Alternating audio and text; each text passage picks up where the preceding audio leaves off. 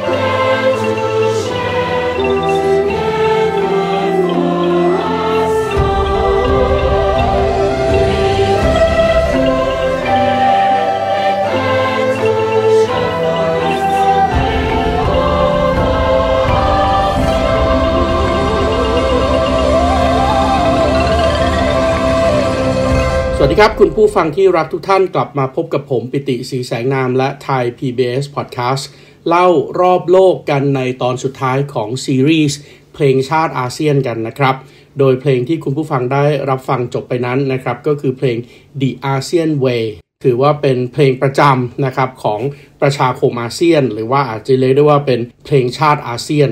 เพลงนี้นะครับมี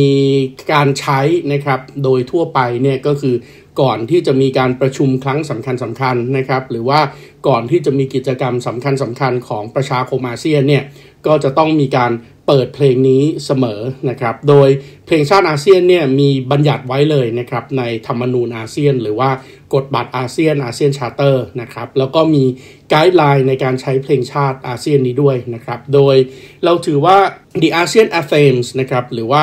เพลงชาติอาเซียนเนี่ยเป็นการแสดงออกถึงความสามัคคีของอาเซียนนะครับ นอกจากนี้ยังเป็นการเสริมสร้างความรู้สึกถึงอัตลักษณ์ของอาเซียน และการเป็นส่วนหนึ่งของประชาคมในระดับภูมิภาค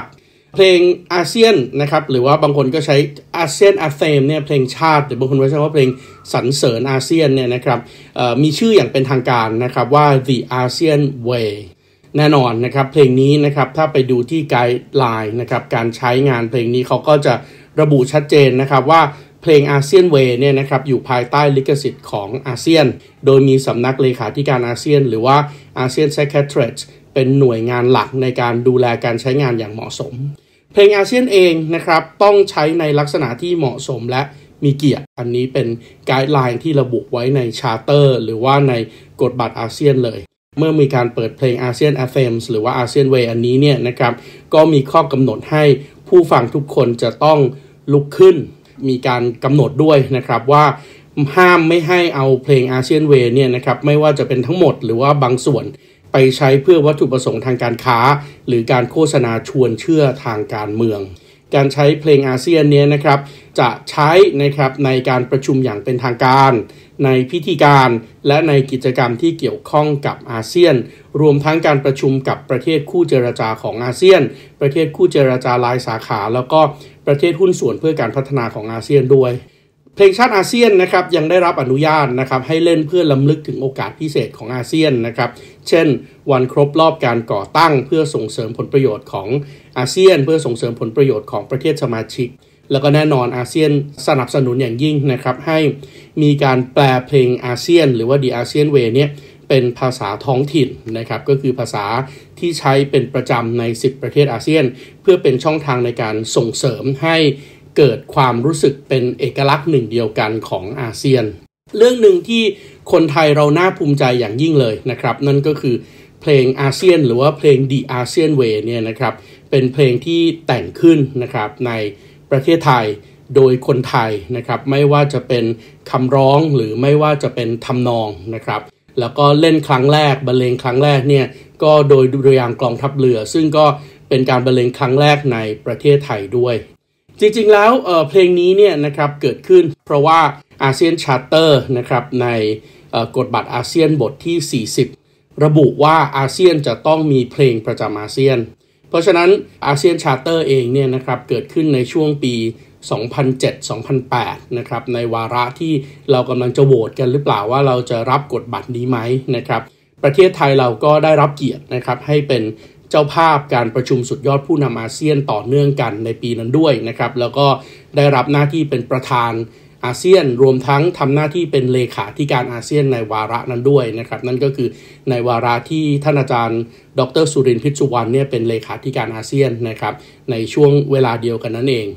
สิ่งที่เกิดขึ้นก็คือประเทศไทยเราก็ต้องรับหน้าที่นะครับเป็นผู้รับผิดชอบในการดำเนินการจัดการประกวดเพลงประจำอาเซียน โดย การประกวดครั้งนั้นนะครับเรากำหนดรูปแบบของการประกวดให้เป็นแบบ Open Competitions นะครับนั่นก็คือทุกคนสามารถที่จะส่งเพลง ไม่ว่าจะเป็นเพลงไหนก็ตามนะครับจาก 10 ประเทศอาเซียน สามารถที่จะส่งเข้ามาแล้วก็ได้รับการพิจารณาด้วยกันทั้งสิ้น โดยในการประกวดครั้งนั้นนะครับ มีการรับเพลงเข้ามาทั้งหมดเนี่ยถึง 99 เพลง 99 เพลงนี่ถือว่าเยอะมากนะครับจาก 10 ประเทศอาเซียนเนี่ยมีการส่งเพลงเข้ามาประกวดกันถึง 99 เพลงสำนักเลขาธิการอาเซียนเองเนี่ยก็มีการกำหนดคุณสมบัติเบื้องต้นนะครับ แล้วก็สร้างคณะกรรมการผู้ตัดสินขึ้นมา โดยหลักเกณฑ์การประกวดเพลงอาเซียนเบื้องต้นนะครับ ประกอบด้วย 5 ข้อ ข้อแรกนะครับ เนื่องจากภาษาการทำงานของอาเซียนเป็นภาษาอังกฤษ ดังนั้นจึงมีการกำหนดเลยครับว่าเพลงประจำอาเซียนต้องเป็น 1. มีเนื้อร้องเป็นภาษาอังกฤษ ข้อที่ 2 มีลักษณะเป็นเพลงชาติประเทศสมาชิกอาเซียนนะครับ ก็คือเราจะใช้เป็นที่ยอมรับกันว่าจะเป็นเพลงชาตินะ ดังนั้นต้องเป็นเพลงที่มีเนื้อหาที่ดีนะครับ แล้วก็จะต้องเป็นเนื้อหาที่ได้รับความเคารพต่อไป ข้อที่ 3 ก็คือเราไม่ต้องการให้มันยาวเกินไป ดังนั้นกำหนดด้วยนะครับว่าเพลงจะต้องมีความยาวไม่เกิน 1 นาที แล้วก็ข้อที่4นะครับผมคิดว่าเป็นสิ่งที่สำคัญที่สุดก็คือ เนื้อร้องต้องสะท้อนความเป็นหนึ่งเดียวของอาเซียน และความหลากหลายทางด้านวัฒนธรรม และเชื้อชาติของอาเซียนนะครับ แล้วก็ข้อที่ 5 ต้องเป็นเพลงที่แต่งขึ้นมาใหม่นะครับไม่สามารถที่จะเอาเพลงเก่ามาใช้ได้ โดยคณะกรรมการผู้ตัดสินนะครับเพื่อให้เกิดความเที่ยงธรรมที่สุด จึงมีคณะกรรมการตัดสินจาก 10 ประเทศอาเซียนบวกกับอีก 3 ประเทศที่เป็นคู่เจรจาของอาเซียนนะครับ เราได้รับเกียรตินะครับจากฮาจีมานัฟบินฮาจีมานัฟนะครับของประเทศบรูไนดารุสลาม ดรแสมอังแสมนะครับจากกัมพูชา ปุรวาจารากาจากอินโดนีเซีย คุณคำพันธ์โพนทองศรีนะครับจากสปปลาวนะครับอายอบอิบราฮิมจากประเทศมาเลเซียนะครับออกจากมาเลเซียนะครับก็จะเป็น ถิ่นอูทวงนะครับจากประเทศเมียนมานะครับฟิลิปปินส์นะครับก็มีกรรมการที่เสนอชื่อมาก็คือ i g r i b i n o V d i a Store สิงคโปร์นะครับคุณผุนหยูเทียน เวียดนามเองนะครับฟาร์มฮงไฮในขณะที่ของประเทศไทยเรานะครับพลเรือเอกหม่อมหลวงอัศนีปราโมทนะครับจากประเทศไทย แล้วก็แน่นอนเพื่อให้มีความเป็นธรรมมากยิ่งขึ้นนะครับ เราไม่ได้ตัดสินกันเองภายใน 10 ประเทศนะครับ แต่เรายังมีคณะกรรมการจาก 3 ประเทศอาเซียนที่เป็นคู่เจรจาของอาเซียนด้วยนะครับ นั่นก็คือซานดรามิลเลเคนนะครับจากประเทศออสเตรเลีย เปาหยวนไคนะครับจากสหรัฐประชาชนจีน แล้วก็เคโกฮาราดะนะครับจากประเทศญี่ปุ่น รวมเป็นคณะกรรมการ 13 ประเทศนะครับ แล้วก็ มีหลักเกณฑ์ 5 ข้อนะครับ แล้วก็ในเดือนกันยายนเนี่ยเราก็เริ่มต้นพิจารณากันยายนปี 2008 นะครับ ก็เริ่มต้นพิจารณานะครับ โดยการพิจารณารอบแรกเนี่ยก็แน่นอนกลุ่มอาเซียนกระทรวงการต่างประเทศของประเทศไทย ในฐานะเป็นแม่งาน เตรียมการจัดประชุมอาเซียนนะครับ ในการที่จะพิจารณาเรื่องของ ASEAN Charter เองเนี่ยก็เริ่มต้นกระบวนการคัดเลือกเพลงรอบแรกนะครับ โดยคณะกรรมการคัดเลือกเพลงทั้งหมด 10 เพลงนะครับจากที่มีคนส่งเข้าทั้งหมด 99 เพลงมาประกวดนะครับแล้วก็การประกวดรอบสุดท้ายนะครับเกิดขึ้นนะครับในวันที่ 20 พฤศจิกายนนะครับปี 2008 โดย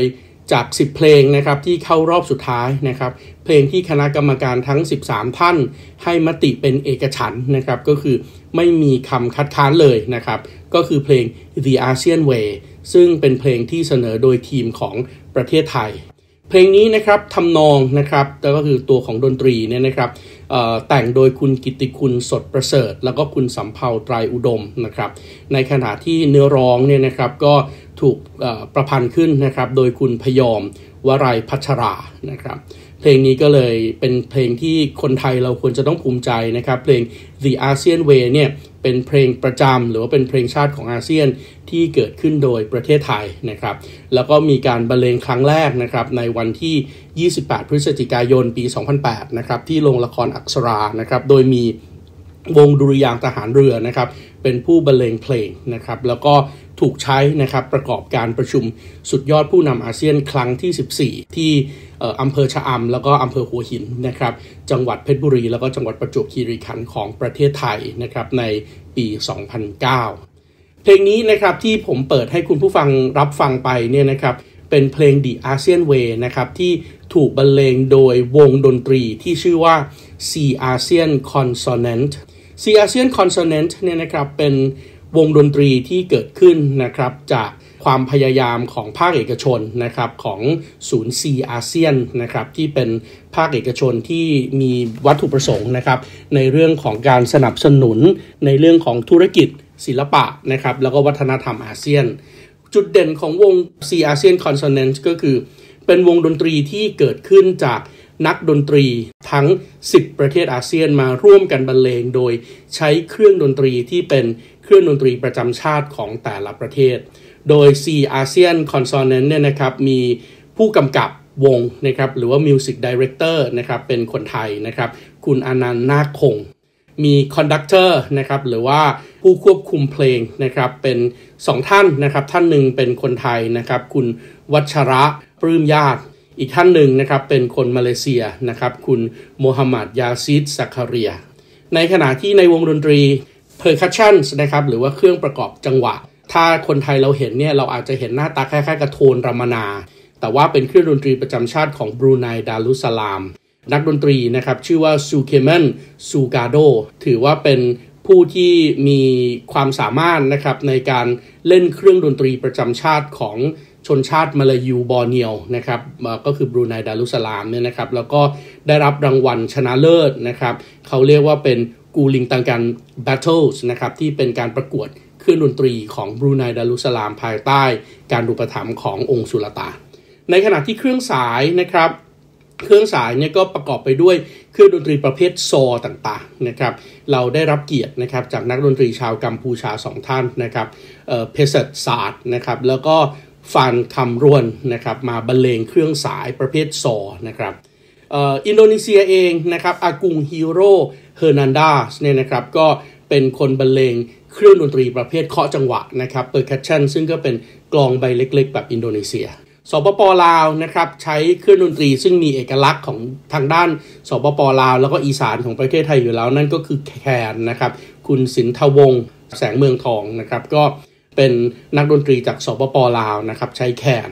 คุณมาเลเซียนะครับใช้เครื่องสายนะครับที่มีลักษณะคล้ายๆ กับกีตาร์นะครับแต่ว่าเป็นเครื่องดนตรีดั้งเดิมนะครับของมาเลเซีย คุณนูระเรซามบินอาลี ในขณะที่เครื่องดีดนะครับเราจะมีเครื่องดนตรีประเภทพิณ ประเทศที่มีพิณที่มีเสียงเพราะมากๆเลยเนี่ยก็คือพิณของเมียนมาพิณของเมียนมาเองเนี่ยนะครับก็มีผู้บรรเลง3ท่านนะครับ เป็นคุณผู้หญิงทั้ง 3 ท่านเลยนะครับ คุณวาวาซัน คุณนันดาซาวินนะครับ แล้วก็คุณทาชินทเวนะครับ ทั้ง 3 ท่านเนี่ยก็จะบรรเลงพิณในขณะที่ฟิลิปปินส์นะครับจะเป็นเครื่องเคาะนะครับที่มีลักษณะคล้ายๆกับคล้องนะครับ คุณมาวินทามโย สิงคโปร์นะครับเป็นเครื่องเป่าประเภทขลุ่ยนะครับ เป็นขลุ่ยแบบอินเดียนะครับเป็นฟรุตแบบอินเดียนะครับ คุณนิรันจานพันดันนะครับจากสิงคโปร์ ของประเทศไทยเราเองนะครับเป็นเครื่องตีนะครับที่เรารู้จักกันดีในนามระนาดเอก คุณกามเทพนะครับทีละเริศตรายก็เป็นนักดนตรีไทย ในขณะที่ของเวียดนามเองเนี่ยนะครับก็จะเป็นเครื่องดนตรีประเภทดีด หน้าตาเนี่ยจะคล้ายๆ กับเครื่องดนตรีคนไทยที่เรารู้จักกันในนามกู้เจิงคุณเหลอทุยลินนะครับแล้วก็ร่วมกันบรรเลงเพลง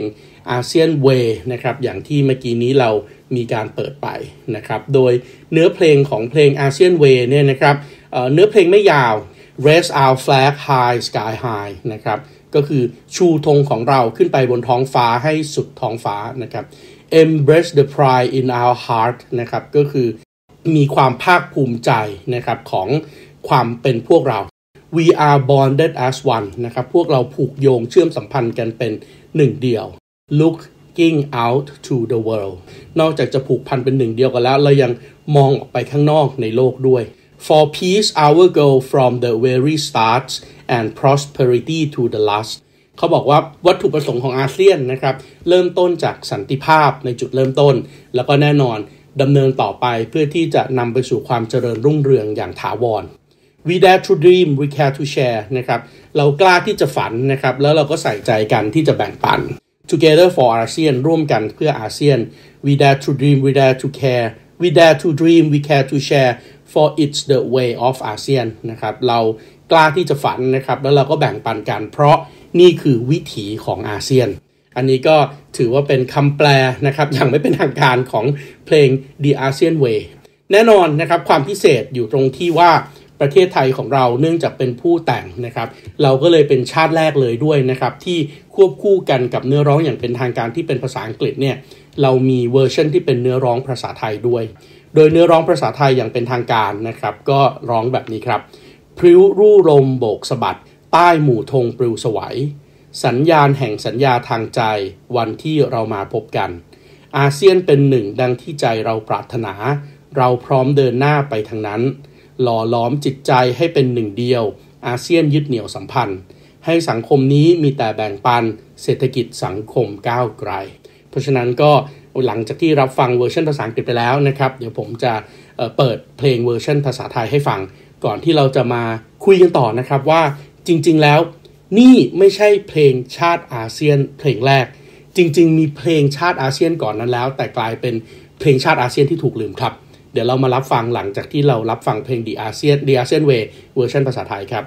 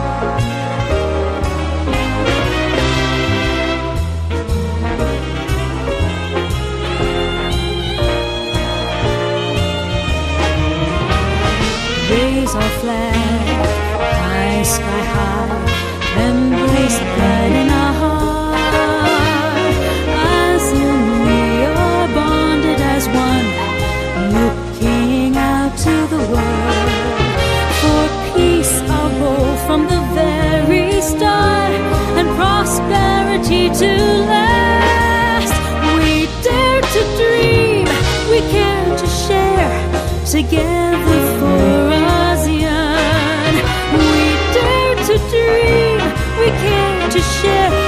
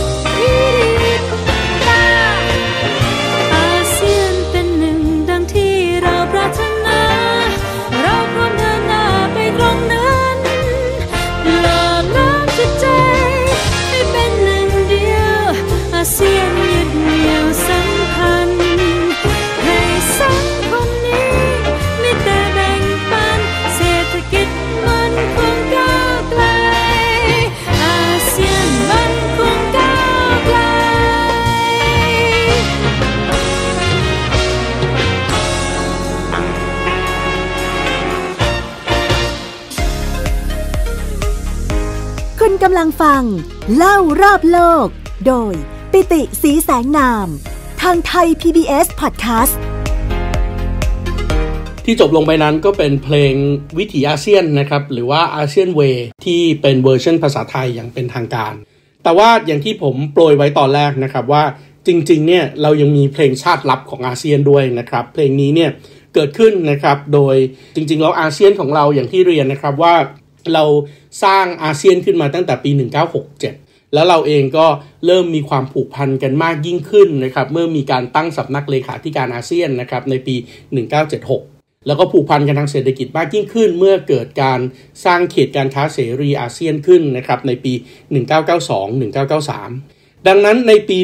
1994 นะครับ โดยการประชุมของ ASEAN Committee on Cultures and Information นะครับคณะกรรมการอาเซียนว่าด้วยวัฒนธรรมและสารสนเทศ มีดำริขึ้นมานะครับว่าเอ๊ะอาเซียนเองเนี่ยอยู่กันมานานละนะครับแล้วเดี๋ยวปี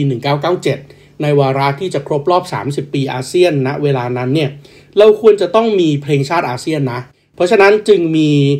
การประกวดนะครับเขาเรียกว่า ASEAN Song Contest Project เกิดขึ้นนะครับ โดยใช้เงินทุนสนับสนุนจากกองทุนวัฒนธรรมอาเซียนนะครับอาเซียน Cultural Fund แล้วก็เกิดการประกวดเพลงขึ้นมา โดยการประกวดเพลงเนี่ยนะครับเกิดขึ้นนะครับในช่วงเวลาปีหนึ่งเริ่มเตรียมงานปี 1994 กระจายข้อมูลไปนะครับ แล้วก็ให้มีการส่งเพลงเข้ามาประกวด โดยรอบสุดท้ายนะครับที่เป็น Final Round เพื่อที่จะตัดสินกัน เกิดขึ้นในเดือนพฤษภาคมปี 1997 เป็นปีที่เราจะเฉลิมฉลองวาระครบรอบ 30 ปีอาเซียน และปีนั้นเนี่ยมาเลเซียเป็นเจ้าภาพการจัดประชุมสุดยอดผู้นำอาเซียน ดังนั้นเดือนพฤษภาคมปี 1997 เนี่ยนะครับก็มีการตัดสินนะครับว่าเอ๊ะรอบสุดท้ายสำหรับเพลงที่จะถูก นำคัดเลือกเข้ามานะครับให้เป็นเพลงที่จะใช้เป็นเพลงประจำอาเซียนคือเพลงอะไร รอบสุดท้ายนะครับ3ประเทศนะครับที่เข้ารอบชิง3ประเทศสุดท้ายก็เป็นเพลงที่เสนอโดยประเทศไทย ประเทศมาเลเซียนะครับแล้วก็ประเทศฟิลิปปินส์โดยคณะกรรมการตัดสินให้เพลงที่ชนะเลิศเนี่ยนะครับก็คือเพลง ASEAN Song of Unity จากประเทศฟิลิปปินส์เพลง ASEAN Song of Unity เองเนี่ยนะครับก็ ถือว่าเป็นเพลงที่มีเนื้อหาไพเราะนะครับ แล้วก็จริงๆเนี่ยชื่อ ASEAN Song of Unity นี่ไม่ใช่ชื่อแรก ชื่อแรกจริง ๆ เพลงนี้ชื่อว่า ASEAN O ASEAN โดยคนที่แต่งเพลงนี้นะครับ นั่นก็คือคุณนิคานอร์ เทียงซอนนะครับชาวฟิลิปปินส์นะครับแล้วก็ผู้ที่แต่งทำนองนะครับ คุณไรอัน คายาบยับนะครับก็เป็นชาวฟิลิปปินส์ด้วยกันทั้งคู่นะครับ ก็แต่งเพลงนี้ขึ้นมา โดยเพลงนี้นะครับมีเนื้อร้องว่า ASEAN O ASEAN our voices rise as one from land to land from sea to sea reach out for everyone ASEAN O ASEAN let's link our arms and stands behold the sun has risen to the level of our eyes behold the sun has risen to the level of our eyes นะครับคำแปลอย่างไม่เป็นทางการก็น่าจะแปลได้แบบนี้ครับ อาเซียนโออาเซียน เสียงของเราเปล่งออกมาเป็นหนึ่งเดียวกัน จากแผ่นดินสู่แผ่นดิน จากทะเลสู่ทะเล เข้าถึงทุกคน อาเซียนโออาเซียน เรามาประสานแขนและยืนขึ้นพร้อมกัน ดูเถิดพระอาทิตย์ขึ้นแล้ว อยู่ในระดับสายตาของเรา ดูเถิดพระอาทิตย์ได้ขึ้นมาแล้ว อยู่ในระดับสายตาของเรา เพลงนี้เองเนี่ยก็ แน่นอนอย่างที่เราทราบกันนะครับ ว่าถึงแม้ว่าจะมีการคัดเลือกแล้วก็เกิดขึ้นในปี 1997 แต่ว่าปี 1997 เองเนี่ยก็มีมรสุมชีวิตหลายอย่างเกิดขึ้นในอาเซียนถูกต้องไหมครับ ปีนั้นเองเป็นปีที่เกิด Asian Financial Crisis นะครับ 1997 ซึ่งก็วิกฤตเนี่ยก็เริ่มต้นนะครับ แล้วก็ break out ในวันที่ 2 กรกฎาคมปี 1997 เมื่อประเทศไทยเราประกาศลอยตัวค่างเงินบาท นาทีนั้นเนี่ยก็เลยทำให้หลาย ๆ เรื่องนะครับที่ถูกวางเอาไว้ โดยเฉพาะอย่างเช่นเรื่องของเพลงอาเซียนเนี่ยมันก็ถูกลดทอนความสำคัญโดยวิกฤตต่างๆ ที่เกิดขึ้นนะครับดังนั้นสิ่งที่เกิดขึ้นนะครับก็คือเพลงนี้ก็ไม่ได้รับความนิยมเท่าที่ควรนะครับแล้วก็ถูกบรรเลงกันเฉพาะในการประชุม ASEAN Committee on Culture and Information แล้วก็การประชุมที่เกี่ยวข้อง เพลงเพลงนี้ก็ถูกใช้บ้างไม่ถูกใช้บ้างนะครับ แล้วในขณะเดียวกันตอนนั้นอาเซียนเองก็ยังไม่ได้มีกฎบัตรอาเซียนที่กำหนดกฎกติกาต่างๆนะครับดังนั้นเพลงนี้ก็เลยกลายเป็นเพลงอาเซียนที่คล้ายๆ ถูกเลือนหายไปแล้วก็หลาย ๆ ท่านอาจจะลืมนะครับ แต่ว่าเราเองก็ขอนำเอาเพลงนี้มาบรรเลงนะครับ ให้คุณผู้ฟังได้รับฟังกันเพื่อเป็นการจบรายการวันนี้ แล้วก็เป็นการจบซีรีส์ของเพลงชาติอาเซียนทั้ง 11 เพลงนะครับเพลงชาติ 10 ประเทศอาเซียน บวกเพลงวิถีอาเซียน ซึ่งก็เป็นคนดิ่งหนึ่งความภาคภูมิใจของประเทศไทยเราที่ฝากเอาไว้ให้เป็นมรดกของประชาคมแห่งนี้ประชาคมอาเซียนครับ จนกว่าจะพบกันใหม่ในตอนหน้าครับ ผมปิติศรีสายน้ำขอลาไปก่อน สวัสดีครับ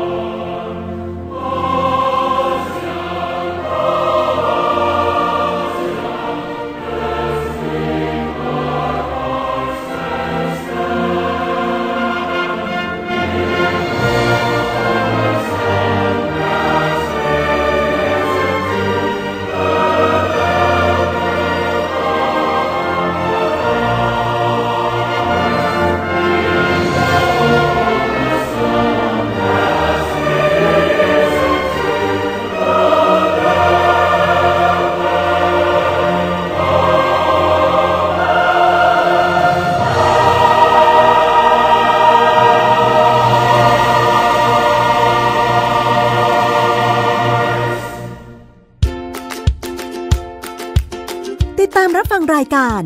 เล่ารอบโลก ได้ทางเว็บไซต์และแอปพลิเคชันไทย PBS Podcast